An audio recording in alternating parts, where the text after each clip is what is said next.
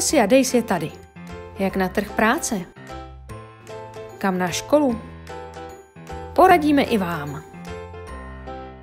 Na stánku Národního pedagogického institutu vám také v tomto roce ukážeme, jak uvádět v životopise jazykové a IT dovednosti. Poradíme, jak si vytvořit portfolio a ukázat všechny vaše zkušenosti a vzdělání. Na veletrhu můžete navštívit pestrý doprovodný program.